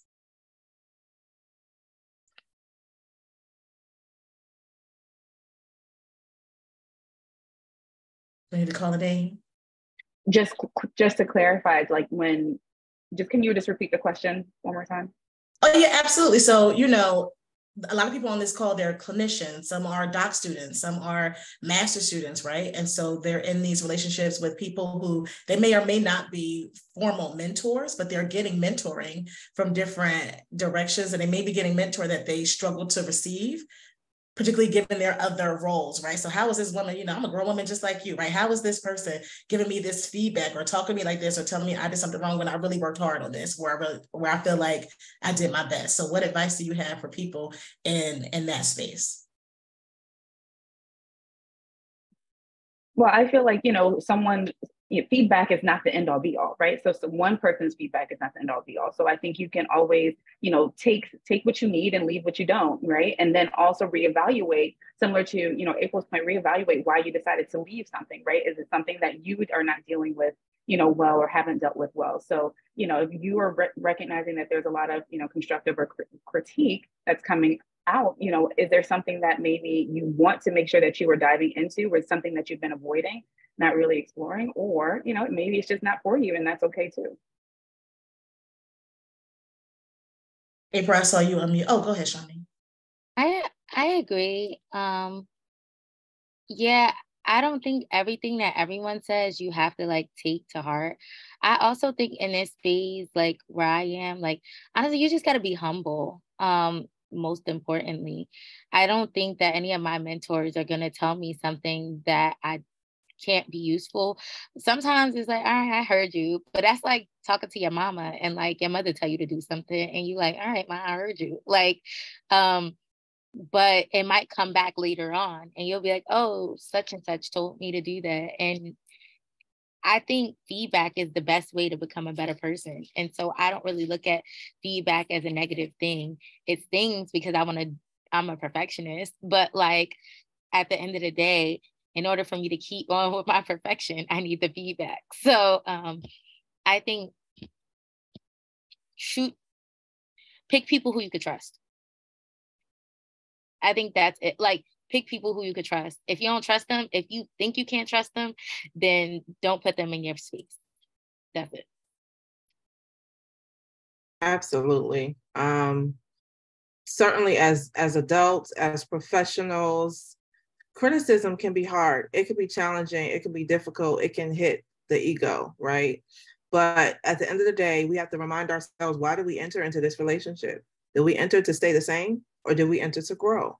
And with growth comes challenge, right? And part of that challenge is hearing things about ourselves, about our work, about whatever the case may be that we don't necessarily want to hear. But growth is on the other side of that, you know.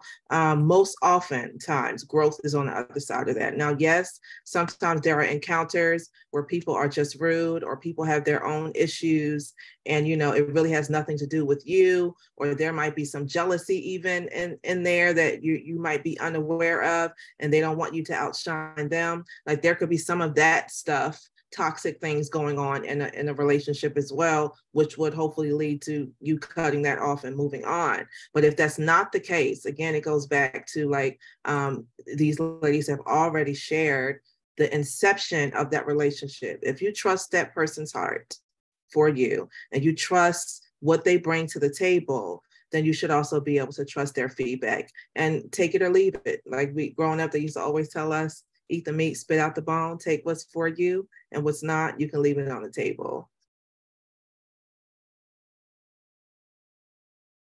I have two final questions before I open it up to the audience. The first one, um, and I lost my notes. The first one is, what do you see?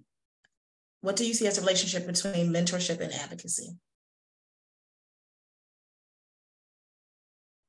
I think personally it goes hand in hand.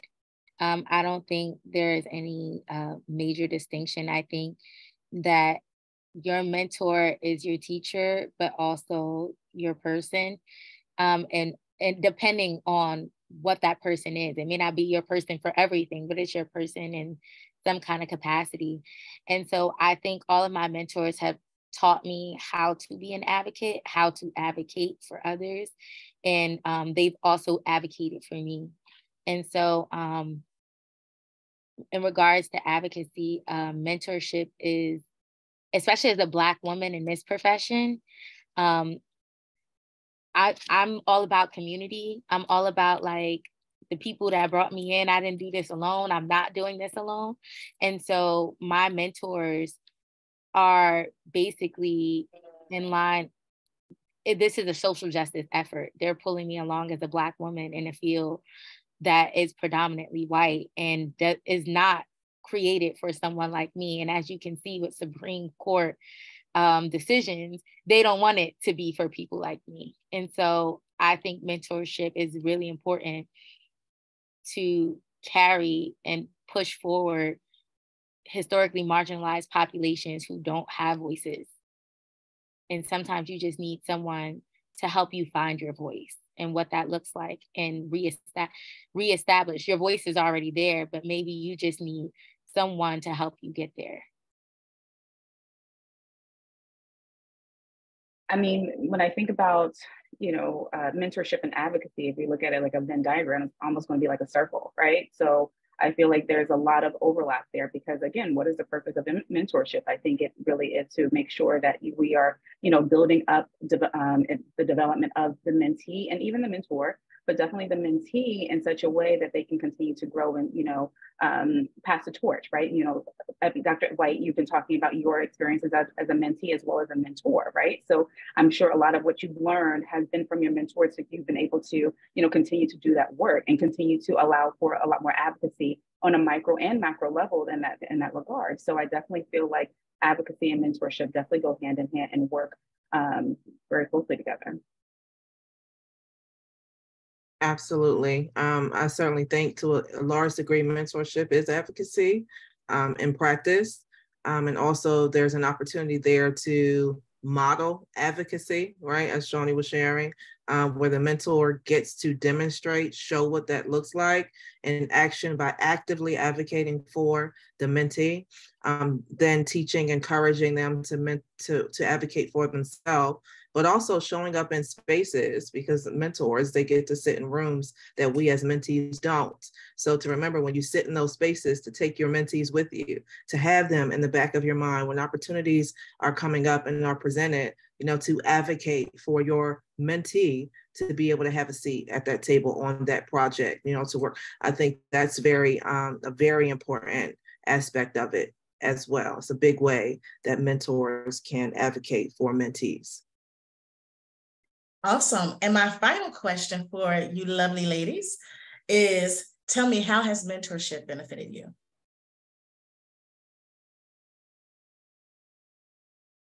I'll go first. Um, I'm better because of mentorship. I don't think that there will ever be a time in my life where I'm not under mentorship in some regard. Um, I have mentors for multiple areas of my life. So business, I have a mentor for for um, motherhood, right? I have a mentor for for everything. I believe is very very important. It has enhanced things for me. It has opened my eyes to things that I know I would have stumbled in if I did not have the wisdom from somebody who have gone who has already gone before me. Um, and I tried it on my own without mentorship and made a lot of mistakes. And after sitting with a mentor and having them show me, you did what? You did th- why did you do this and not do that? So learning that from that moment, like that was a turning point for me where I was like, okay, I'm not going to do that again. I'm going to always make sure that I have someone in my life who is ahead of me right to to help me because just maintaining that posture of humility i haven't arrived until i get there and there's somebody who's already there right um, so i want to always be postured. One of my mentors has always, she shared with me that it's important to have someone in your life who's at least a decade ahead of you, always, right? So that you have someone in your corner who can let you know what's coming down the line in any area of your life. So I hold fast to that. So I plan on being a mentee until I leave out of here and a mentor as well.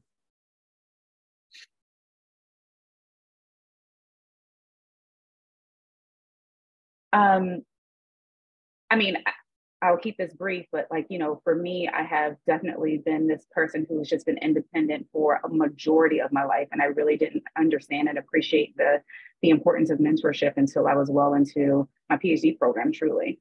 Um, and so similar to April, have di- different mentors. And, you know, we were talking about um, just peer mentorship even you know earlier we were going to talk about that briefly and i think about you know some of the work that we do to, together dr white and how you know you've encouraged and supported and done all these different things. Even y'all even when i was sending my bio for this event she was like this bio is too short. You should have you know added all these other kind of things. And then when you look at my resume or cv and see all the other things that i've been able to accomplish it's because of the help and support of other people of mentors and it has allowed me to kind of get to spaces that I never would have been able to get to on my own. So I'm very, very thankful for, you know, the benefit of mentorship. Yeah, I co-sign everything that was said. Um, I don't think I would even be sitting in this space without my mentors or the the people who have just supported me bravely. Like I think about shout out to my doc Bessie Suni, who's in the room, who's like literally forced me to do stuff. Like, I mean, I've done it, but like even being president of Chi Sigma Iota chapter at my school, she was like, Shawnee, you need to do this. Oh, Shawnee, you need to apply to that. Like, I think about like you need people in your life who want to see you do better. And so, like, even though, like, wow, it's another thing added to my list, Dr. White asking me to be the secretary for CSJ introduced me to so many other people and so many other opportunities that I didn't even know was available to me. And now I have a even bigger network than I had before. And so, I think personally, mentorship has made me stronger. Um, or allowed me to show up authentically even stronger than I did before because people have accepted me for just being me literally and um I don't have to talk fancy. I can dress in my really eclectic ways and um, I can wear my Bantu knots in a call and not feel like I'm being shamed. And I can just really feel uh, spiritually and mentally free, which is one thing that I can check off in this war that we are in academic academia and um, other places in America. So um, mentorship is that thing, and you pay it forward when you see other people trying to uh, cross the same bridges that you've already. I believe you're supposed to make it easier for the next person. You're not supposed to let them go through the same struggles if you can help remedy it. And so, if I can, I absolutely try my best to make it easier and give them the tools like, hey, like I didn't know this, but hey, here's a little nugget for you to have too. So it can make it easier. I don't believe in letting people go through the struggle if they don't have to.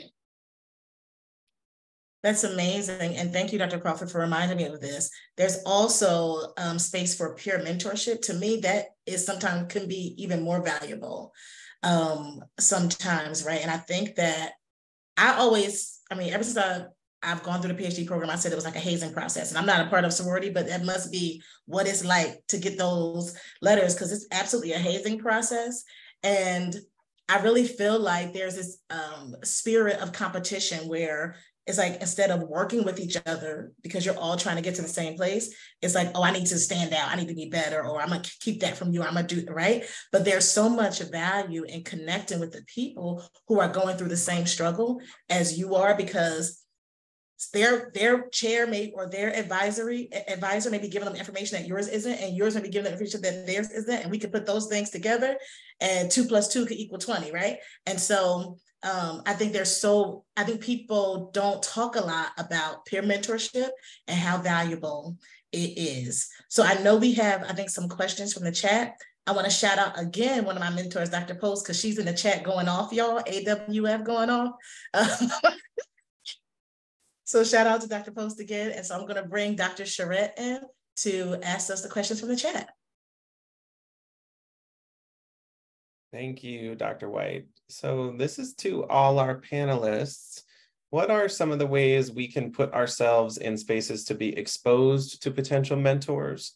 Uh, as a new full-time mom and first-year master's online student, I would like some suggestions on how I can position myself.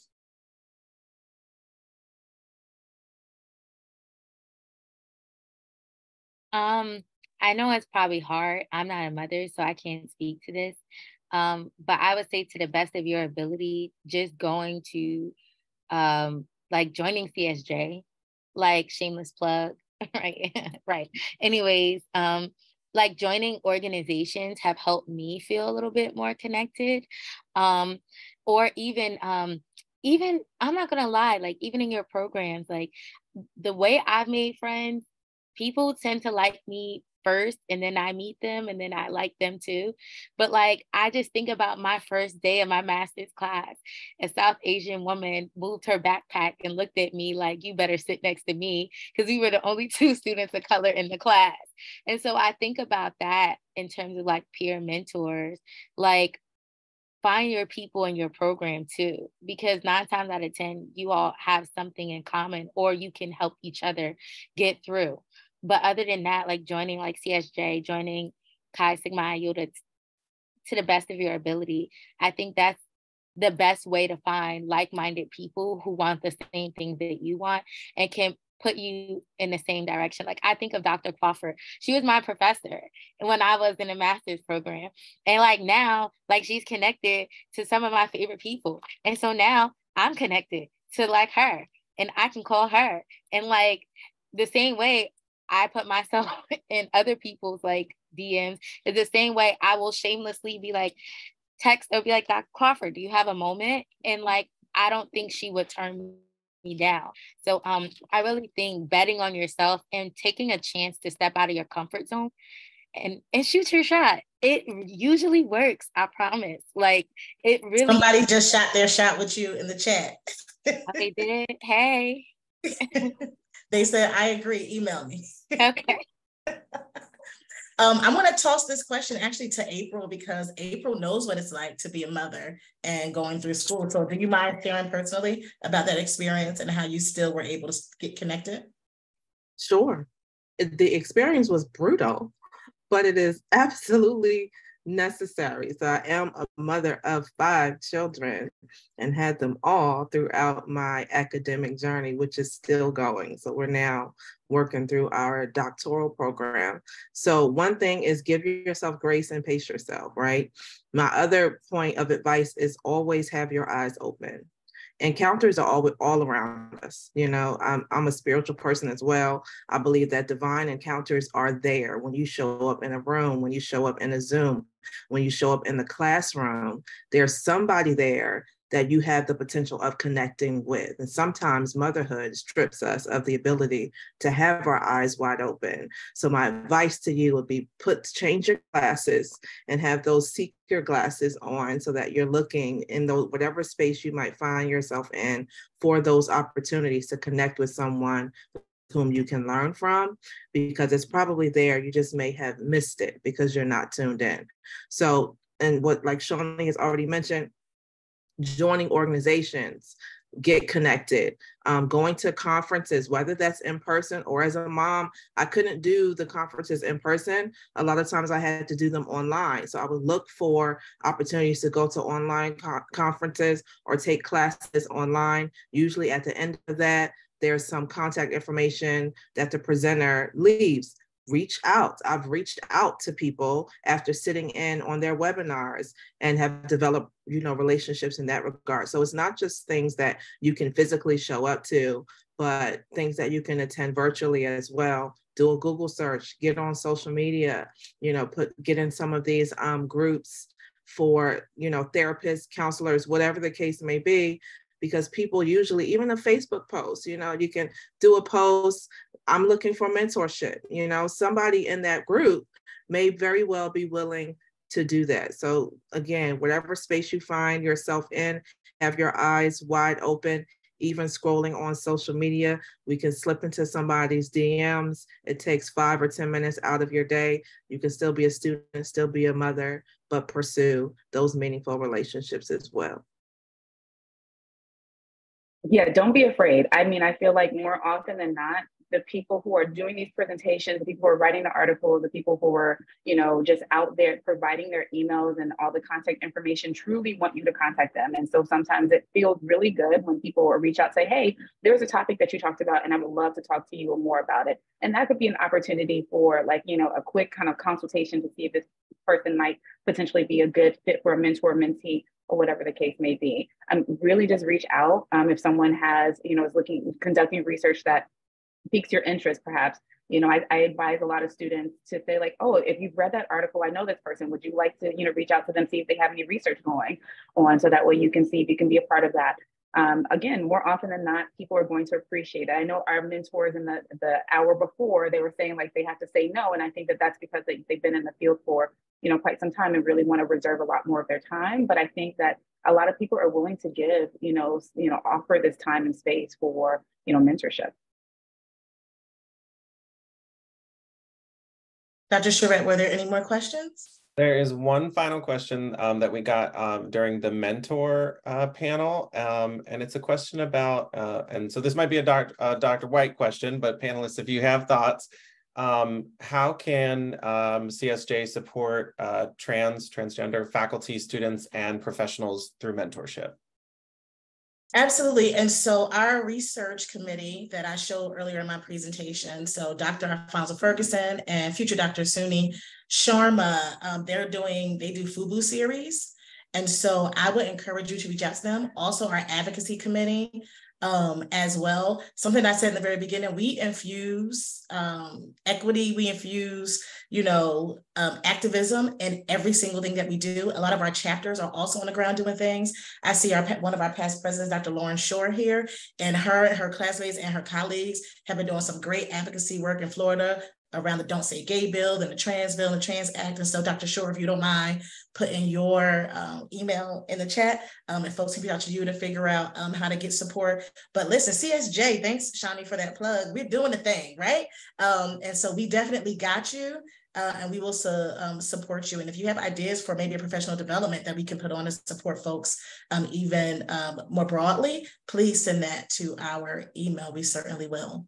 I want to thank you amazing, wonderful. I can't remember all the adjectives Dr. Charette used, but all the ones he used for me, I'm giving them back to you all. You are all amazing. I appreciate you giving of your time and talent to drop some knowledge um, for us on my final day as president of Counselors for Social Justice. Can you please use your um, reactions or your hands and clap for our panelists and thank them. Feel free to put thank yous in the chat. I appreciate you. And so we're going to remove the spotlights or pins. Well, Joe would do that. Um, and I just want to thank everyone. I see Dr. S. Kent Butler is in the building. And, you know, he's our immediate past president of the American Counseling Association. He's also been a wonderful mentor of mine. He always shows up supports and supports, even though he has a million things going on. I see Dr. I was wondering, I was wondering when my name, no, I'm kidding. I'm kidding. Yes, it's my last day, child. One last day as immediate past president. See, I wasn't going to forget you. I want to shout out Dr. Glosoff, who was the director of the PhD program at Montclair State when I was coming through it, who have supported me. She gave me money, y'all, so I could get done and get through. So I appreciate that. And I can't see everybody because, you know, I don't know the share screen situation. But if you're in the space, I, I love you. I see you, Ubuntu. And I'm I am going to stay on a little bit, but feel free after I play my final going out song to stop sharing. Um, yes, I would love to get positive messages in the chat. I'm here for it. Um, I appreciate you all. Thank you so much. Dr. Charette has put a link in uh, to show you how to get your CEs for today. And on that note,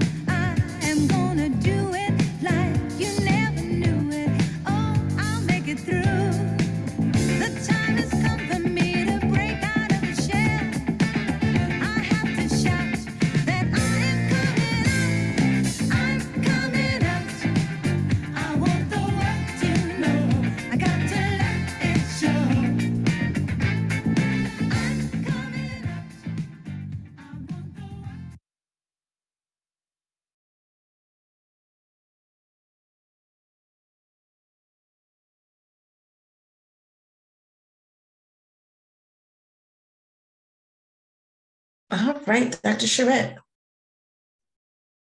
Oh, let me stop my recording.